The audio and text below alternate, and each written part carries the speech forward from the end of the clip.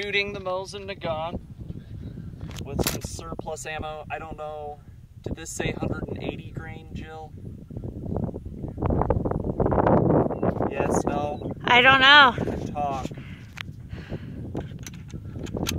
Anyways, I'm gonna actually shoot a group with this with the bayonet on. I've never really shot a group with the Mosin, really.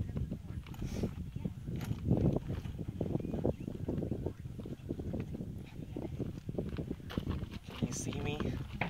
Sure. Yes. It looks like you're pointing over there.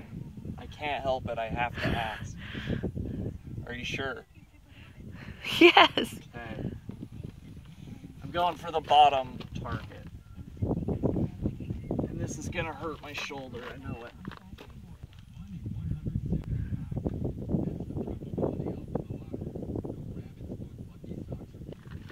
Make sure the sight's set.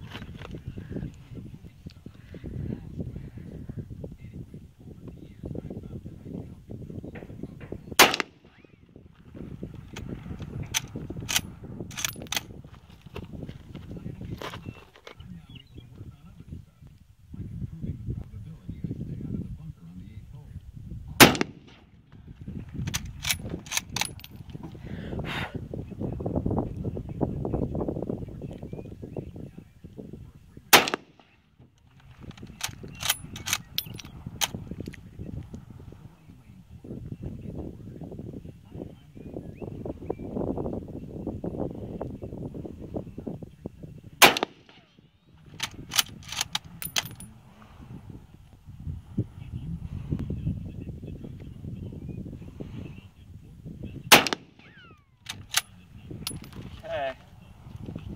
Let's go see. It's, our, Okay. it's just on pause. Don't film me. Well, this isn't too far away, but honestly, this is the best I've ever shot with the freaking Mosin. Um, it's like uh, maybe a touch under a two inch group at like, I don't know, 40 yards or something. But I swear the Mosin doesn't shoot that great. And so to even have them like this close to the center is pretty awesome. Jill hates it. Okay, the first group I did with the Mosin was with the bayonet. So I'm just seeing how it changes without the bayonet. Same ammo, same everything, same target, just no bayonet.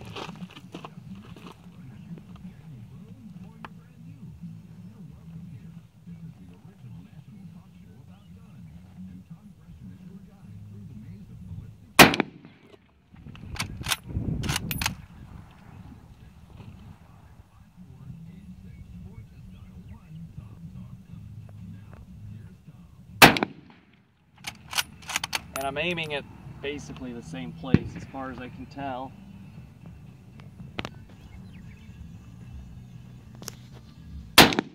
Ow! That one hurt.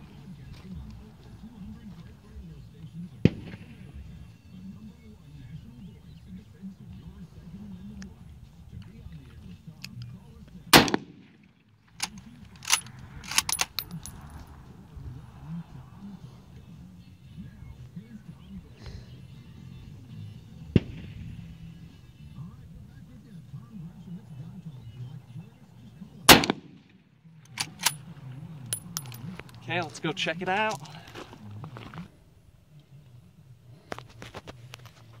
Okay, as you can see, it's actually pretty big change. And super crazy vertical stringing. And a little bit to the right. So this is the first group. And this is the second one. So the bayonet definitely helps for sure. Like a lot. This group's like half the size of this one.